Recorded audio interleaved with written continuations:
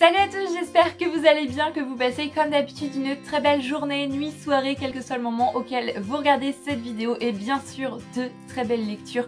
Je suis pour ma part comme toujours très heureuse de vous retrouver aujourd'hui sur la chaîne Booktube pour une nouvelle vidéo et aujourd'hui ça va être une revue et je pense que cette revue ne va pas être très très longue. Je vais vous parler d'un tout petit livre mais un petit livre que j'ai savouré comme un bonbon que j'ai vraiment beaucoup aimé puisqu'il s'agit du livre Dickens, Barba Papa et, autres nourritures de Philippe Delerme, paru aux éditions Gallimard dans leur collection L'Arpenteur. Donc je suis un petit peu trompée dans la vidéo In My Back puisque j'ai dit que c'était les éditions L'Arpenteur, mais L'Arpenteur est bien une collection des éditions Gallimard, mais c'est aussi paru en poche chez Folio si vous préférez le format poche. C'est un livre qui fait 105 pages, donc comme je disais, il est vraiment très très fin, très très court. Ça se lit très rapidement, d'autant plus que chaque chapitre est centré sur un souvenir bien particulier et ne est fait au maximum deux pages, mais c'est des pages pleines de tendresse que j'ai beaucoup aimé découvrir. Philippe Delerme, c'est un auteur sur lequel je suis tombée un petit peu comme ça par hasard en librairie, alors que c'est un auteur qui apparemment est quand même assez connu. Et il y avait son dernier livre qui s'appelle Et vous avez eu beau temps, il me semble. Et c'est toute une réflexion sur ces phrases que l'on dit un petit peu machinalement. Par exemple, quand quelqu'un revient de vacances, on dit alors vous avez eu beau temps. Et euh, tout ce que ces phrases induisent inconsciemment, sans qu'on le sache, tout ce qu'elles sous-entendent en fait. Ça m'a beaucoup intrigué, beaucoup interpellé.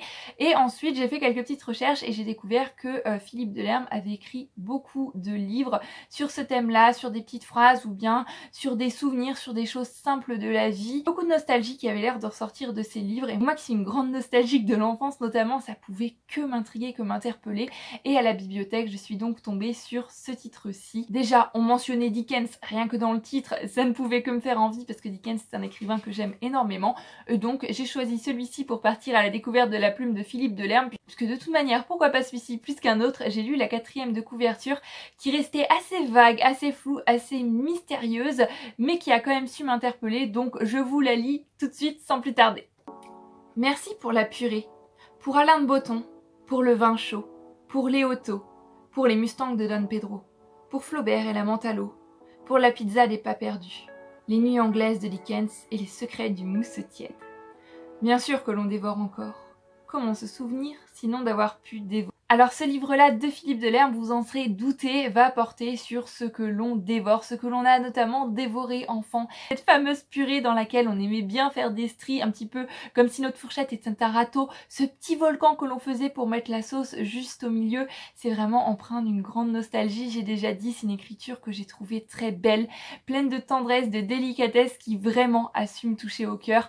Mais c'est pas seulement de la nourriture, c'est aussi dévorer des tas de livres, des tas de romans, des découvrir un tas d'auteurs avec son regard d'enfant et on sent à travers certains des chapitres un grand amour pour les livres, pour la littérature. Donc ça aussi, bien sûr, ça a pu que me parler, ça a pu que me toucher. C'est un livre qui se lit très très bien, je l'ai dévoré en une journée. Mais plus que dévoré, j'ai envie de dire que même si je l'ai lu très rapidement, chaque page ça se savourait un petit peu comme un petit bonbon et j'ai vraiment beaucoup beaucoup aimé ça. Je pense que Philippe Delerme pourrait devenir un auteur que je lis assez régulièrement, d'autant plus que la majorité de ses livres sont comme ça très très fins et pourquoi pas entre deux lectures peut-être un petit peu plus lourdes, un petit peu plus compliquées, me plonger moi aussi dans mes souvenirs à travers ceux de l'auteur, retrouver cette nostalgie, retrouver euh, ces petits riens qui finalement me touche en plein cœur. Et je me dis ah oui c'est vrai j'ai l'habitude de faire ça et je sais pas c'est un livre qui quand je lisais certains chapitres me mettait juste le sourire aux lèvres.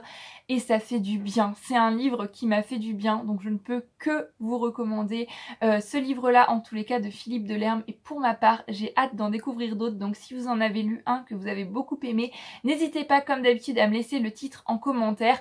Mais euh, ce livre-ci n'est pas un coup de cœur et je pense que c'est principalement et surtout dû au fait que je n'avais pas toutes les références. Et ça je pense que c'est parce que je suis née au milieu des années 90 et je sais pas quel âge a l'auteur exactement, peut-être que lui il est né dans les années 70-80 donc bien sûr il y avait beaucoup de références de son enfance que, je n'avais pas parce que j'ai pas vécu mon enfance à la même époque parce que moi j'ai pas les mêmes souvenirs et parce que ce qu'il mentionne eh bien je ne le connais pas mais euh, ça n'empêche pas que c'était dit avec une très belle plume, une très belle écriture qui m'a quand même beaucoup touchée mais je pense que si vous êtes né dans les années 70-80 que vous avez vécu vos enfances à cette époque-là et pouvoir encore mieux savourer ce livre que je ne l'ai fait.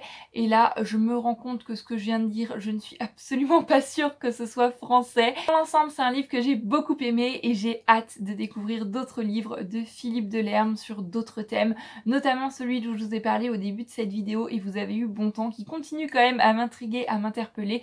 Maintenant que je connais le style de Philippe Delerme, en plus de ça, bah, j'ai tout simplement hâte de le retrouver. C'est une très très belle découverte.